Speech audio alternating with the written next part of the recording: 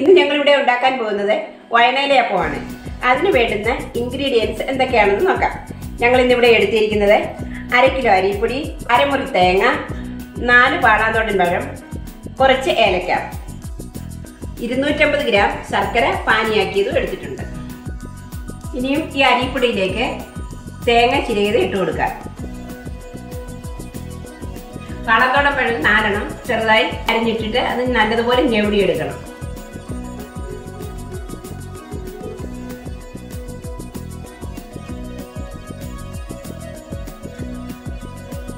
ഇനി ഇതിലേക്ക് ശർക്കര പാനി ഒഴിച്ചു കൊടുക്കാം.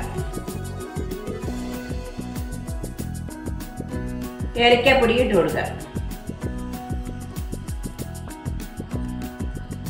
ഇതെല്ലാം കൂടി നല്ലതായിട്ട് കുഴച്ചെടുക്കാം.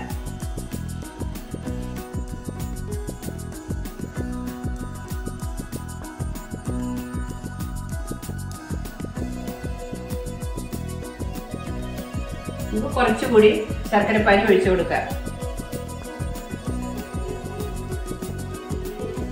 ഇനി ഇത് പത്ത് മിനിറ്റ് റെസ്റ്റ് ചെയ്യാൻ വെക്കാം. ഈ പരുവത്തിൽ കുഴച്ചെടുക്കണം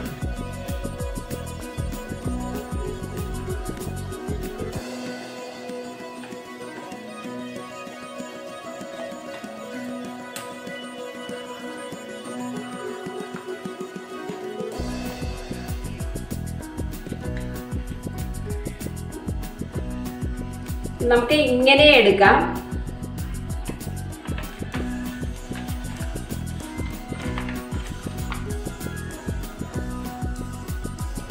ഇങ്ങനെ കുമ്പിൾ കുത്തി അതിനകത്തിൽ ഇങ്ങനെ നിറച്ചും വെക്കാം. ഇതിന് പറയും കുമ്പിളപ്പം എന്ന് പറയും.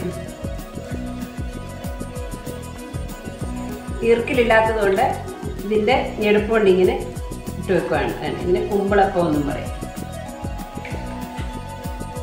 ഇതുപോലെ കുമ്പിൾ കുത്തി എടുക്കുന്നതിനാണ് കുമ്പിളപ്പം എന്ന് പറയുന്നത്.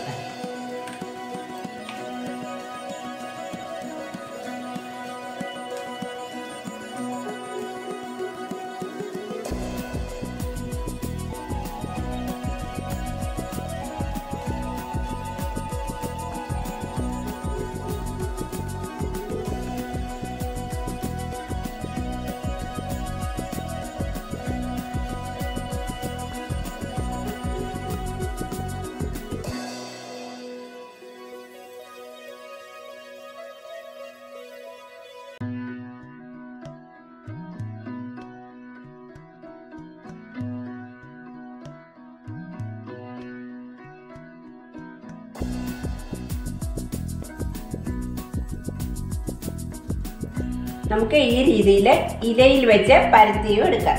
എന്നിട്ട് ഇത് ഇങ്ങനെ മടക്കി വെച്ചാൽ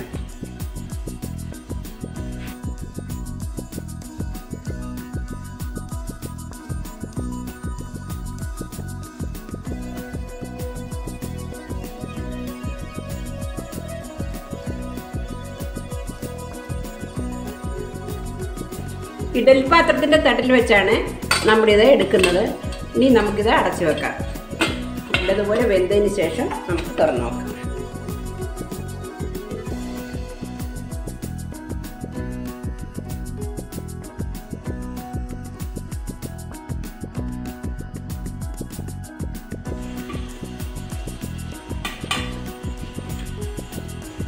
നമ്മുടെ നമ്മുടെ വയനാട്ടിലപ്പോൾ ഇവിടെ വെന്ത് വന്നിട്ടുണ്ട്.